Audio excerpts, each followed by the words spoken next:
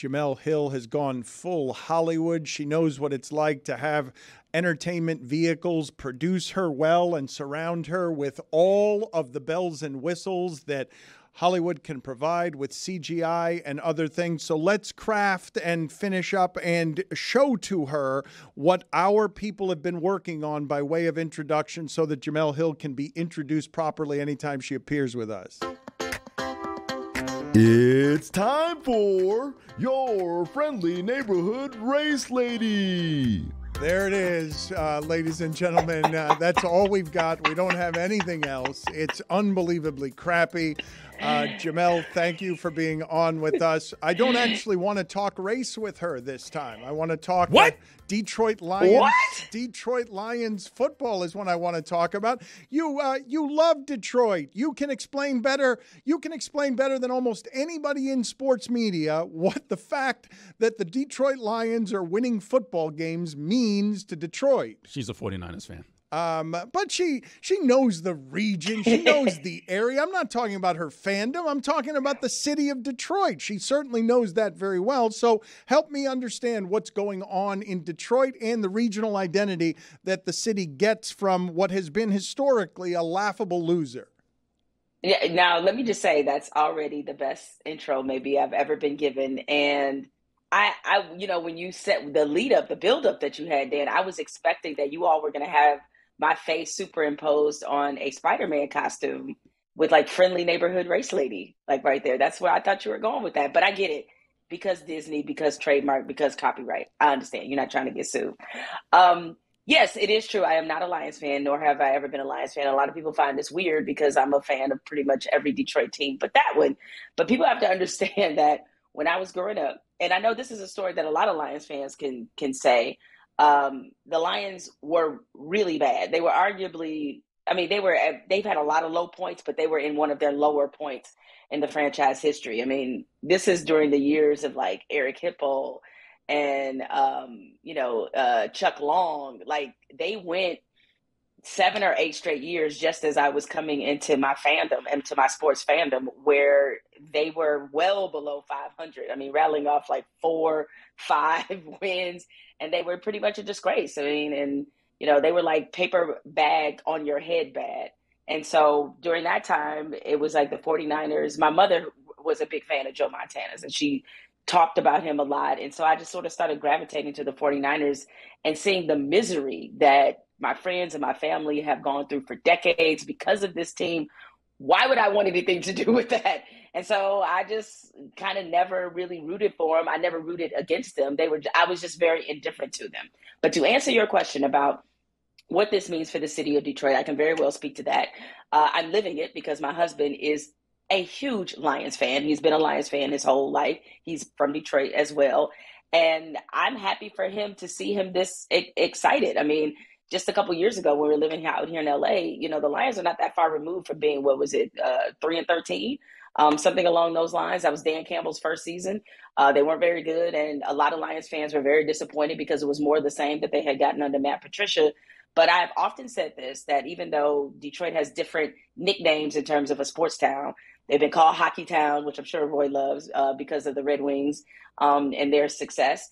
Uh, that they've had in the past. But truthfully, if the Lions went to a Super Bowl, and certainly if they won it, them just even going to a Super Bowl would probably be the biggest sports story in Detroit history, and um, maybe even the state's entire history, because people there have been waiting for this for a long time. So put them in the same category as Cleveland Brown fans and uh, any of the other franchises that have suffered through bad management, poor leadership, bad coaching, um, players that didn't live up to expectation. They have suffered through all of it, numerous humiliations. So I'm happy for the city. I'm happy for my husband um, and for all the Lions fans who've had to endure this, and now they finally have a moment. Explain this part to me because I don't know what this city is at its core. Hockey has done some winning, baseball has done some winning, basketball has done some winning. Is that a football town first? Uh, it is. I mean, it's not any different than I think um, a lot of towns in America are, particularly talking about the Midwest. Detroit is still very much the Midwest is is it's driven a lot, you know, by football. And this year in particular, you know, you have U of M who won a, national title. Now you have the Lions in position uh, to, to, play where they're playing meaningful games and, and, certainly have a shot at going to the Super Bowl. Yeah, I mean, I, I, think for a lot of people, the identity of football very much relates to the identity of the town. I mean, really, every every winning team or every team in Detroit takes on the personality of Detroit. Uh, I don't know what's the chicken and what's the egg, or whether or not they have players and teams that just fit the personality, or those players and teams begin to fit the dynamic of Detroit, which is blue collar, hardworking, you know, um, you know, very transparent people, very nice people. You know, all of these characteristics. Uh, gritty city because Detroit, you know, has often not been regaled very highly in the national media. You know, for so many years, Detroit was like the butt of the national joke when it came to crime, when it came to poverty during the recession when it went viral about how there were homes in Detroit that were going for a thousand dollars that you could buy. Like people are always there's a long history of people always laughing at Detroit. And it's something that people from Detroit take very personally. And so when there is a time where we can show people that good things, positive things, great things happen in the city, um, that's when I, I think we really are at our our we really are filled with the most pride is is allowing people into our layer into our city to see like despite what people say about this city good things are here I want to see if I can make Jemele wince or cringe. I don't know if she has seen this press conference question that was directed at Todd Bowles before this game. Listen to this. I hope you have not seen this. Coach. Uh, looking forward towards um, Detroit. Um, the weather has been a factor in some of the playoff games, even for the most prepared teams. Uh, today, it's uh, 13 in uh, Detroit, which doesn't compare to some of the temperatures we tend to drop to.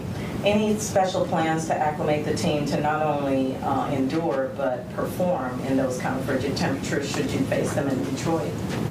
You do know we play indoors, right? And they got a dome. I don't um, no, nothing planned. We're we're indoors. It's like one of those uh, want to get away commercials that Southwest Airlines used to have. Okay, so this is what I want people to understand. Um, one, yes, it's absolutely correct. As a journalist, you got to know that, right? That's a must know that Detroit has been playing in a dome for like a thousand years. All right, like they they they have, you know. So like it didn't just start with Ford Field; they had the Silverdome before that. Like, kind of ha- has happened. But what uh, one Todd Bowles, I mean, was relatively gracious in his answer because I know a lot of coaches that would have sought to humiliate that reporter in front of everybody and you know with the cameras rolling. I'm just gonna guess that this is not clearly somebody who covers sports, and you know that it gets to a certain point when a team is successful in the playoffs and understand a lot of local uh, news stations are understaffed and they do not have people to just cover sports. A lot of the news anchors or a lot of the field reporters who do you primarily do news are sometimes put over into sports because they just don't have enough bodies to cover everything. And so I'm going to guess that this is probably a woman that was dropped into this situation who does not cover sports on a regular basis, saw that Tampa Bay is playing at Detroit, and you know, I mean, she immediately thought they got to play outside. It's Detroit. I mean, Cleveland plays outside, the Bears play outside. She was just like, hey, two plus two equals four. It's Detroit. The weather's cold. It's 19 degrees. They should probably be playing outside.